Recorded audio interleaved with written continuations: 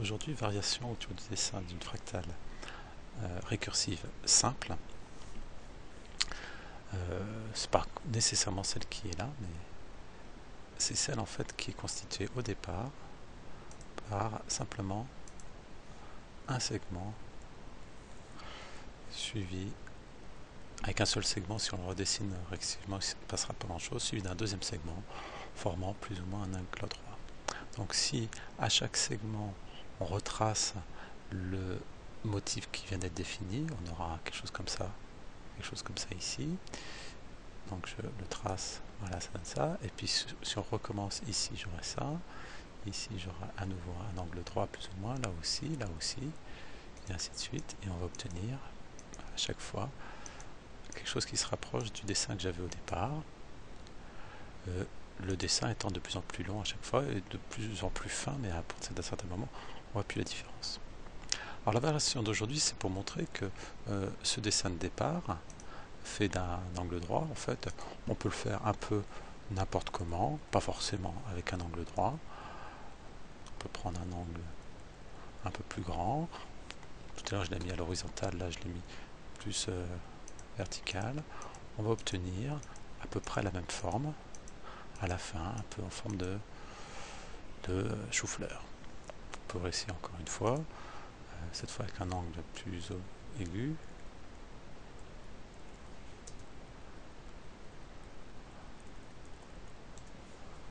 Voilà. Alors,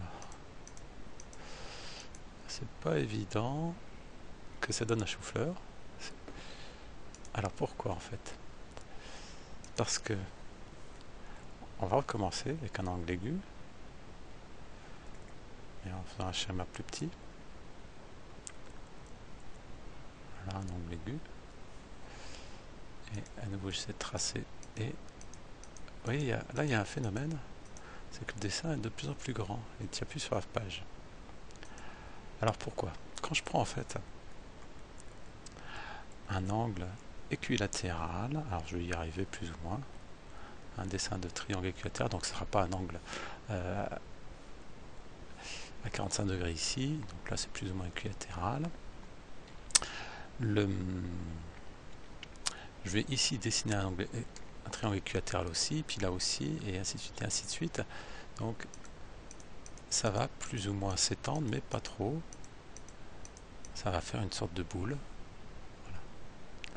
À partir du moment où mon angle est vraiment aigu,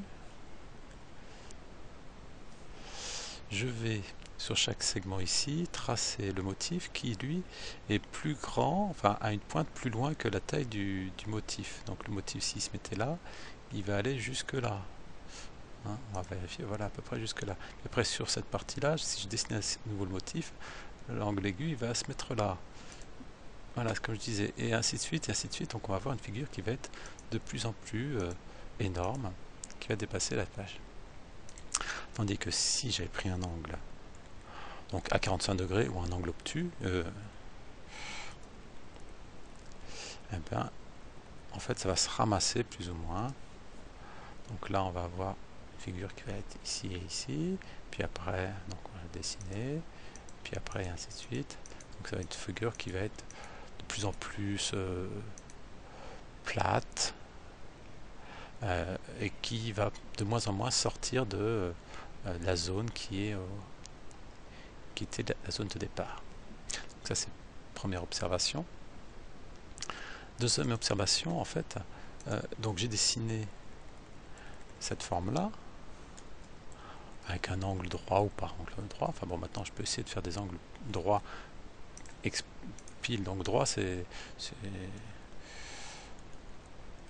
ça garantit que ça parte pas trop loin.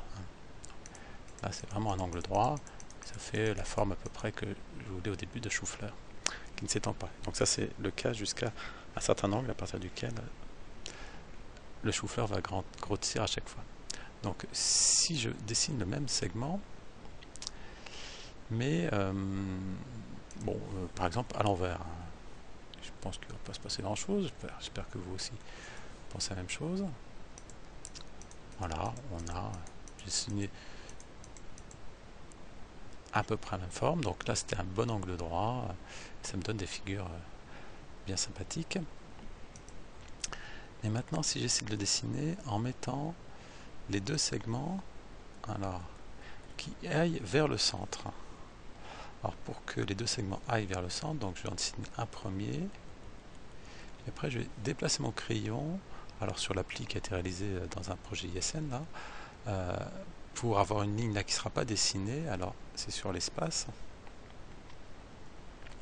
Et maintenant, je dessine un segment qui sera dessiné du coup par contre dans ce sens là et je déplace mon crayon à la fin ici pour le mettre à la fin donc ici je vais avoir dessiné récursivement après le même motif donc ça va, être, ça va donner ça probablement et ici aussi sauf que le segment n'était pas dessiné dans ce sens là qui donnerait ce motif qui donnerait le dessin du motif là comme tout à l'heure mais dans le sens inverse donc dans le sens inverse du coup le motif va se retrouver ici et ainsi de suite la question, ça va être euh, qu'est-ce que va donner la figure? Alors la figure au premier cran, c'est celle que je viens de dessiner. Et au deuxième cran, ben, enfin je ne sais pas si vous voyez déjà apparaître quelque chose de particulier. Au deuxième cran, on obtient ça, puis ça, puis ça, puis ça, qui est pas tout à fait, voire pas du tout, la même figure que tout à l'heure. Qui, euh, l'autre tout à l'heure je l'appelais euh, chou-fleur, là on pourrait l'appeler le dragon.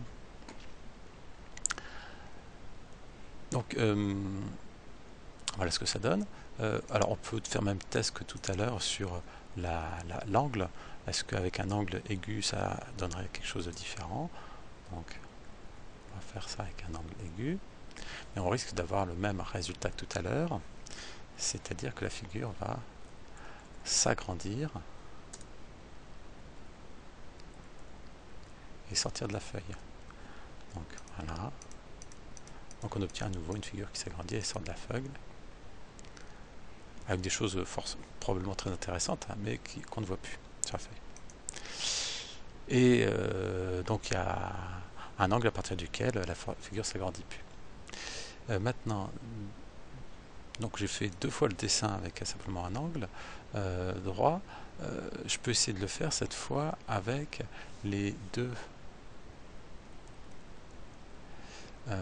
segments. Donc là, je les ai fait aller tous vers l'intérieur. Je peux les faire aller vers l'extérieur. Donc là, je vais déplacer mon crayon sans dessiner. Là, je déplace en dessinant.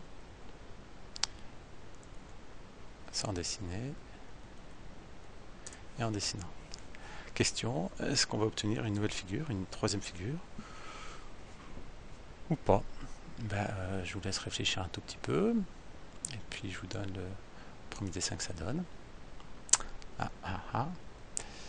Deuxième dessin, troisième, quatrième, et on obtient à nouveau quelque chose qui ressemble au dragon de tout à l'heure. Conclusion, à partir d'un tout petit dessin qui est tout bête, on peut donc réaliser, euh, je ne sais pas combien de, familles différentes de dessins récursifs, mais euh, probablement au moins les, quatre que je viens de présenter. Ou six si on veut. Le chou-fleur, le dragon, euh, et celle qui s'étend. Donc ça n'en fait que trois. Mais il y a peut-être deux formes qui s'étendent, donc ça, ça serait à voir. Voilà pour la petite observation des dessins récursifs.